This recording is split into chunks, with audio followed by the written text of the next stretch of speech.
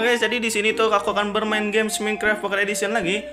Jadi di sini tuh aku setelah beberapa lama live streaming ya teman-teman. Jadi aku sudah ya sudah membuat series Minecraft One Block Survival ya teman-teman ya. Selama aku kurang lebih di live streaming One Block Survival itu aku sudah live streaming se hmm, mungkin sekitar 7 live streaming teman-teman. ya. Setiap live streaming itu adalah satu jam. Jadi sekitar 7 jam aku live streaming di setiap di One Block Survival ini ya temen ya. Oke jadi sebelum kita masuk ke dalam mapnya baiknya kalian pencet tombol subscribe dan like dulu biar aku makin semangat buat videonya. Dan jangan lupa juga komentar ya temen ya. Yang paling penting adalah nyalakan lonceng notifikasinya biar kalian tahu kalau misalnya aku upload video gitu ya temen ya. Oke langsung aja ke videonya. Ada teman jadi sini kita sudah nge-spawn di sini dan kita akan tidur dulu ya teman-teman ya Aku ingetin lagi biar aku makin semangat untuk facecamnya tembusin 70 like ya teman-teman ya biar aku makin semangat untuk membuat video tentang facecamnya gitu ya teman ya. Oke jadi di sini tuh aku nggak nggak mau nge-build apa pun gitu ya teman-teman ya. Jadi di sini tuh aku akan bermain aja di sini men-showcase men-showcase sebuah map ski block aku ya teman-teman ya. Jadi ini aku nge-recordnya habis setelah live streaming langsung aku record ya temen ya. Oke jadi langsung pertama aja sebuah kita nge-spawn pertama itu di sebuah map ski block itu. Maksudku one block ya temen ya. Kalau misalnya aku bikin namanya ski block itu maksudku itu adalah one block ya temen ya. Jadi kalian maklumin aja temen ya. Hampir sama karena sebuah blok-blok gitu ya temen ya. Oke ini ada sebuah spider kita bunuh dulu. Nice Nah, di sini itu adalah tempat sebuah operator atau mining pertama kita di sini gitu temen ya. Jadi lah kita tinggal gali-gali santuy aja di sini langsung nge-spawn nge-spawn dan langsung ada gitu ya guys ya.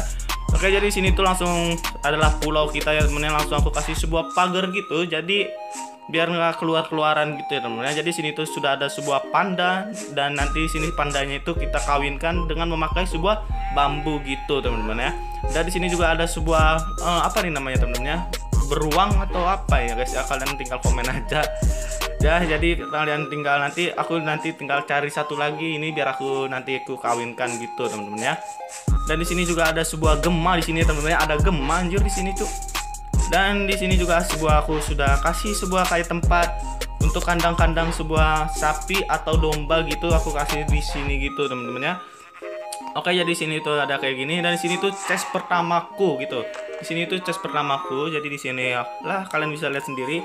Dan di sini tuh yang nggak aku ngerti itu ada ini temennya Idioma language gini dan ini juga toran toran tesis gini aku nggak tahu ini fungsinya buat apa ya temen-temennya.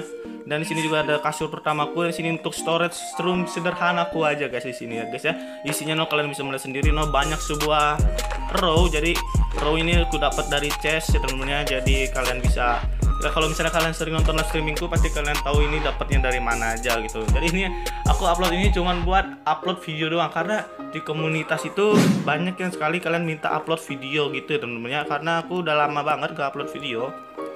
Oke jadi situ dan di sini tuh juga ada rumah pertamaku gitu ya teman dan ini juga ada bambu. Bambunya is the best gitu ya kan. Jadi itu bambunya dapat dari sini semua pokoknya semua sumber dapatnya dari sini semua gitu ya teman ya Oke jadi sini tuh ada rumah pertamaku ini belum ku hancur-hancurin karena aku itu habis mati ke ini teman-teman jatuh ke void karena video live streamingnya udah nembus dari 50 50 like gitu temennya mantep sekali. Oke jadi sini adalah rumah pertamaku nanti ini aku aku akan hancurin gitu guys ya kan? Jadi uh, ini adalah rumah pertama aku no kalian bisa lihat sendiri dan aslinya nih lantainya itu kayak begini teman-teman jadi aku perpadukan antara jungle jungle jungle plank bersama dengan cobblestone gini ya teman ya. Dan di sini tuh juga ada sebuah ya kayak bisa ngintip-ngintip ngintip-ngintip gitu keluar ada sebuah glass ya teman-teman dan untuk ke atasnya itu kalian bisa lihat sendiri ini kita ke atas sebelum aku bikin jalurnya dari dari bawah situ teman-teman ya.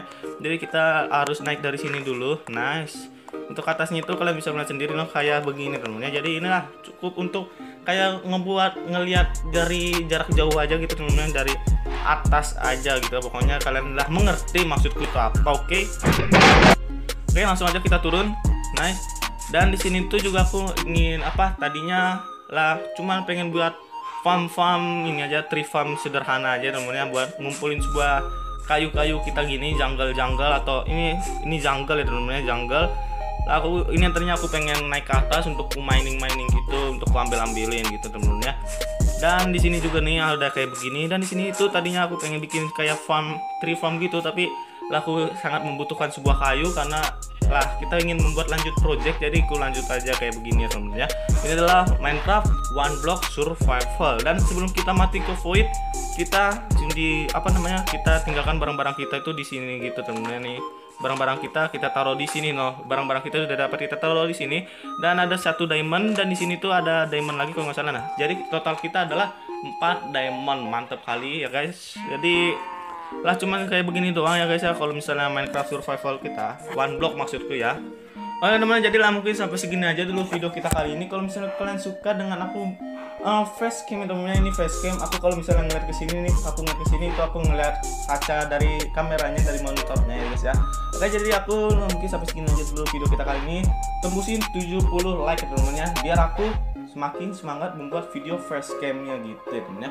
Oke sampai segini aja dulu video kita kali ini. Jangan lupa klik tombol subscribe dan like biar aku makin semangat videonya. Dan jangan lupa juga nyalakan lonceng notifikasinya biar kalian tahu kalau misalnya aku upload video gitu ya temen ya. Oke sampai segini aja dulu video kita kali ini. See you next time. Bye bye